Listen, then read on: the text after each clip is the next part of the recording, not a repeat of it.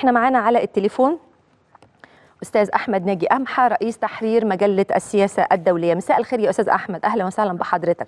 أهلا أستاذة لبنى ازي حضرتك؟ الحمد لله يا فندم. أستاذ أحمد يمكن إحنا كنا بنتكلم مع حضرتك من أيام عن الهدف من مقاطعة المنتجات التركية وإن السلاح ده قوي للغاية وهيأثر في الداخل التركي. شفت إزاي بقى في رد الفعل والتحول بقى من قبل الجانب التركي لمقاطعة المنتجات الفرنسية؟ طيب في البداية أستاذة لبنى يمكن إحنا كنا عايزين نلفت النظر إلى دور الإعلام الغربي، الإعلام الغربي مم. كان ابتدى يلعب دور في التوقيت ده خصوصا البي بي سي طبعا أيوة جهاتها المعروفة آه آه. في آه، آه، دعم آه، آه، الدولة التركية. امم وكانوا ابتدوا يتصيدوا للمغردين العرب ويتصيدوا ل آه، ال- ال- الشعوب العربية اللي ابتدت توجه الدعوة لهذه المقاطعة. آه، طبعا التشابك في شبكه الإعلام شبكة الإعلام لازم نركز على ده أن هناك طبعا. شبكة تتلاقى مصالحها آه، على أهداف معينة في المنطقة العربية امم بتشكل مجموعة من القنوات والمنصات الإعلامية في الخارج آه، معادية للدولة المصرية في المقام الأول ومعادية للشعوب العربية وحقها العادل في التنمية البشرية آه، المستدامة العادلة. آه، الشبكة دي آه، اشتغلت بقوة على هذه آه، الحملة وجاء آه، الحادث اللي وقع في الدولة الفرنسية على طبق من ذهب لكي آه، يبدأوا في استخدامه. آه، التزامن ده مش غريب الحقيقة يعني لما تعرفي حضرتك آه، آه، الموقف الفرنسي المتشدد الدائم تجاه آه، الممارسات الأردوغانية. أي طبعا. لما لما نعرف الموقف الفرنسي المتشدد من متاجره أردوغان آه، باللاجئين ومحاوله أردوغان الضغط بورقة اللاجئين على. الاتحاد الأوروبي. امم لما تعرفي آه، موقف الفرنسي من انتهاكات أردوغان لحقوق الإنسان في الداخل التركي وانتهاكاته لحرية الرأي واعتقاله للعديد من الحقوقيين واعتقاله للعديد من الصحفيين واعتقاله للعديد من الإعلاميين. وبالطبع فرنسا دولة حريات آه، في المقام الأول وفرنسا آه، دولة تحترم كل الأديان بالمناسبة. والتصريح اللي صدر صدر في إطار آه، إدانة آه، التنظيم اللي بيدعمه أر- أردوغان. وبإدانة التطرف اللي بيدعمه أردوغان. ومن هنا كان الوجع أكثر من هنا كان الوجع أكثر لأن هذه الإدانة تمثل طعنة أخيرة في هذه المنظومة لأن آه، آه، الدولة الفرنسية استشعرت أو أحست أن آه، خطر هذا التصرف ابتدى يصل إلى ممارسات فعلية في داخل الأراضي الأوروبية. آه فرنسا أكثر الدول اللي تم استهدافها بحوادث آه، إرهابية في الفترة الأخيرة. امم وبالتالي آه، الدولة الفرنسية لم تكن لتقف موقف المتفرج من كل ما يحدث على الساحة.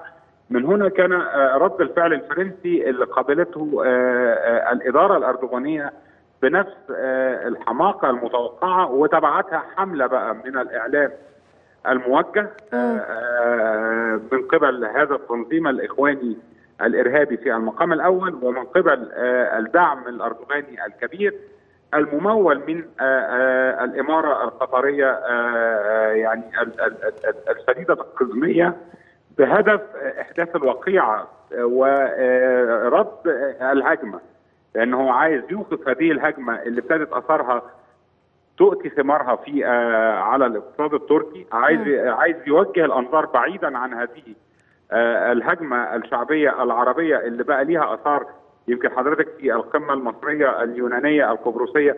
إحنا استمعنا إلى كلمات الرئيس الوزراء اليوناني والرئيس القبرصي. وهم بيتحدثوا عن الإشادة بالمقاطعات الشعبية في الدول العربية اللي ابتدت أثارها تمتد لب- لبلدانهم.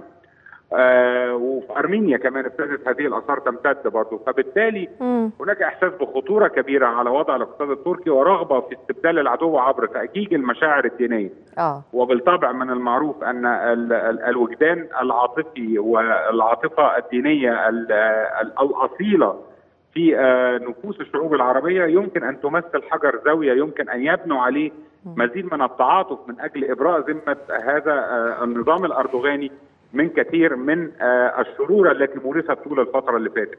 نعم يعني لو حابين نتكلم نقول أنت تتحدث عن تدمير صورة الإسلام أين أنت من تدمير الشعوب العربية المسلمة في سوريا والعراق واليمن وليبيا. أين أنت من هؤلاء الذين شردوا على مدار السنوات الكثيرة الماضية بفعل تدخلاتك وإرسالك للميليشيات بهدف يعني تفجير الأوضاع في داخل هذه الشعوب؟ نعم. أين أنت من استخدامك للشعب السوري وتجنيدك لميليشيات من الشعب السوري تستخدمهم وتنقلهم إلى مناطق الصراع سواء في الداخل الليبي أو حتى في الصراع بين الأرميني الذي اشتغل في الفترة الأخيرة. اذا حضرتك إحنا بنتكلم عن نظام أردوغاني يوظف المشاعر الدينية يحاول أن يستغل الشعوب التي تم السيطرة عليها ويجندها لتحقيق أهدافه.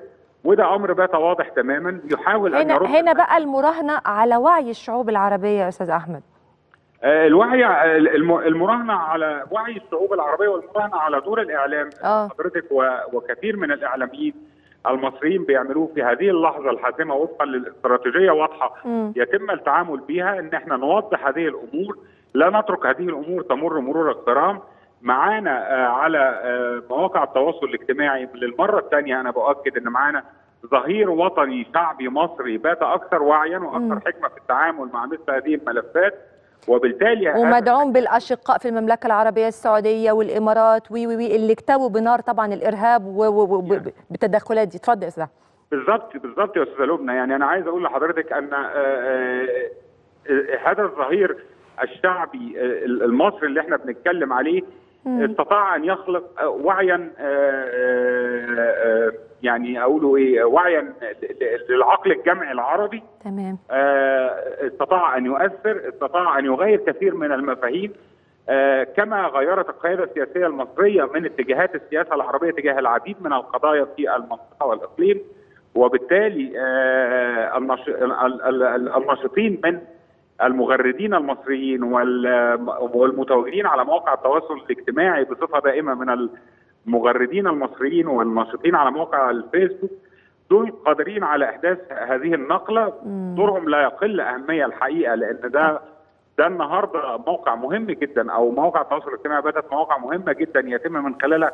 بس كل هذه الحرب الإعلامية وهنا برضو بنقول إن مثل هذه البرامج التنويرية مثل هذه البرامج التثقيفيه اللي حضرتك قائمة عليها وكل زملائنا الإعلاميين الحريصين على المصلحة القومية العربية والأهداف الوطنية المصرية ده دور مهم جدا في هذه اللحظة من أجل فتح هذه الحقائق وفتح هذه الممارسات وتبيان الحقائق للمواطن علشان يحكم ببصيرته قبل أن يحكم ببصره اللي بيحاولوا إن هم يخطفوه بعيدا عن. الحقائق. تمام طبعا أنا بشكرك شكرا جزيلا أستاذ أحمد ناجي امحى رئيس تحرير مجلة السياسة الدولية شكرا على وجود حضرتك معانا يا فندم.